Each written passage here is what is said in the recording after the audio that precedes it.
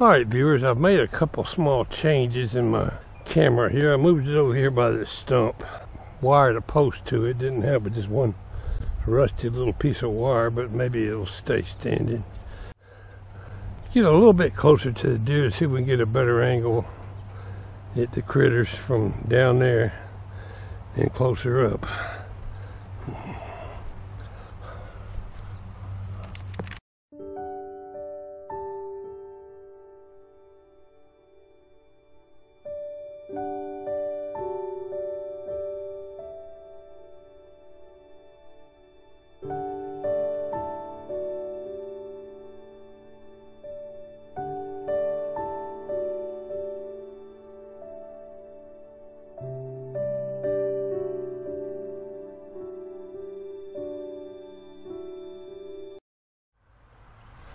Went out today and moved the camera a little bit on my camera number two where I can get a different shot at the critters at night.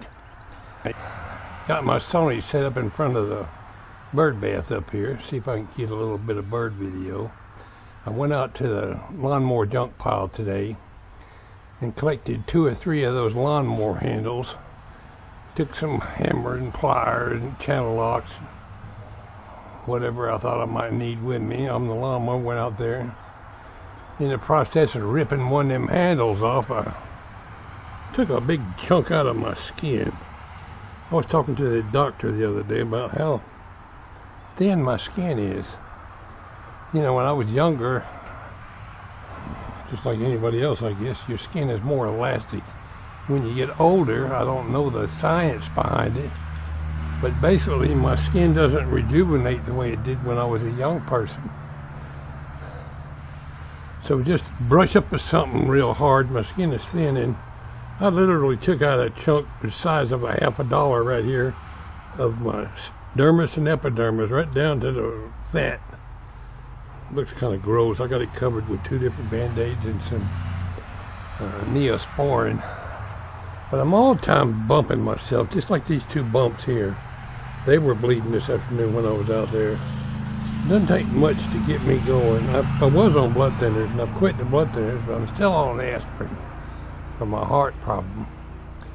And I decided to wean myself off them blood thinners. The doctor said it would be okay. I've been three years, uh, well, over three years on the blood thinner. And he said, let's try it without it for a while since my heart's doing so good and holding steady. That's great. It's costing me $400 a month anyway. I, something I can't afford anyway. Let's quit. So I quit the blood thinner. But my arm's a little sore. I'm not bruising up quite as bad as I was now that I've quit the blood thinner, but you can literally see through my skin. That's how thin it is. So my advice to young my young viewers out there is not to do what I've done. I grew up in Florida and in the South. Many as a year I went all summer with no shirt on, constantly at the beach or the swimming pool with no shirt on. Didn't protect myself from the sun.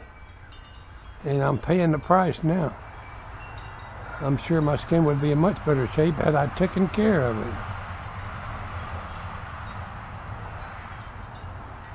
Don't be Mr. Macho like we were. And uh, it wasn't uncommon for me to be tanned as dark as a somebody from down in uh, South America somewhere or something. My skin was really dark. And uh, wasn't uncommon for me to to be completely brown. Now, my, my skin is really suffering for that. I'm not whining about it, I'm just explaining the situation nothing I could do about it. But now that I'm over 70, things are a lot different. Hoping to get a bird video out there. We've seen one hummingbird so far this year, and I think he was just migrating through. Tomorrow I'll actually do a little bit of work on my lawnmower project.